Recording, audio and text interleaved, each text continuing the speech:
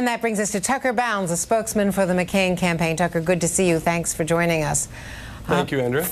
First of all, let's talk about what happened last night on Sean Hannity's show, where mm -hmm. McCain and Palin were on the program. And for the first time in my recollection, McCain really went after Barack Obama on the subject of William Ayers, the 60s mm -hmm. radical, joining Sarah Palin on this whole subject. Let's play it, and then I'll ask you about it on the other side. What more do you want to know about this relationship? What does it tell you about Barack Obama?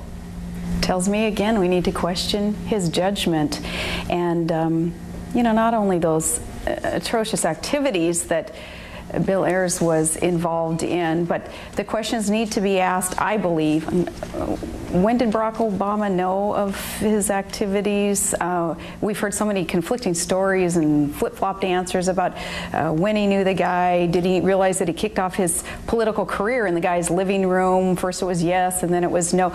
It, it comes down to, again, judgment and truthfulness. I think they should care about Senator Obama's truthfulness.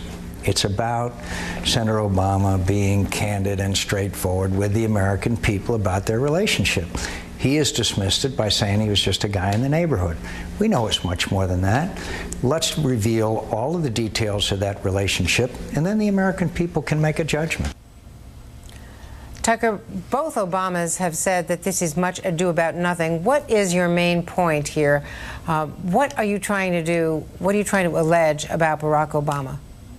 Well, our main point is exactly as you just mentioned it, Andrea. It's that they've said it's much ado about nothing, when actually it's much ado about quite something. Um, it's been reported, it's not an alleged tie that he has with this unrepentant terrorist. It's been reported in virtually every major newspaper in America. It's been reported on CNN, it's been reported on Fox.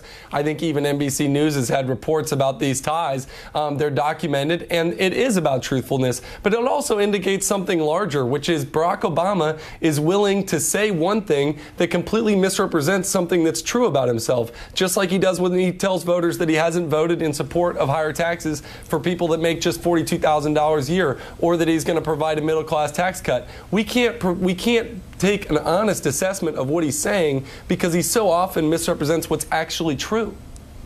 Of course, they uh, counteract that with a lot of facts, and we've done a lot of fact checking mm -hmm. on all of that. But before we go there, let me yeah. ask you to stand by because John McCain has taken to the podium. We want to listen to his speech, and we'll mm -hmm. come back on the other side. Let's listen.